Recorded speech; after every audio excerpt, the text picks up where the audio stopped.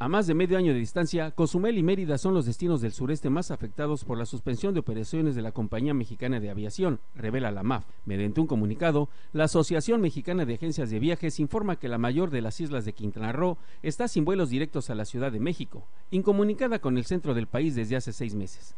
En el caso de la capital de Yucatán, pierde los 60 vuelos a la semana que tenía la aerolínea en paro de actividades desde el 28 de agosto pasado, además de sufrir el alza en el precio de los boletos. El documento añade que Guadalajara es uno de los destinos más afectados porque Mexicana tenía 30% del mercado nacional e internacional, pese a que las rutas más importantes ya están cubiertas. Sin embargo, la MAP sostiene que el número de vuelos aún está 70% en relación con agosto de 2010, cuando aún operaba.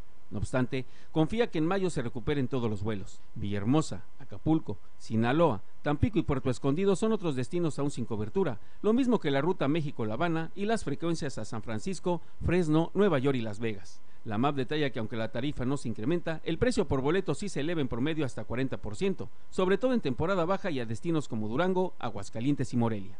Detrás de la cámara, Jonathan Díaz, en el micrófono. Para Notivisión, Carlos Águila Arreola.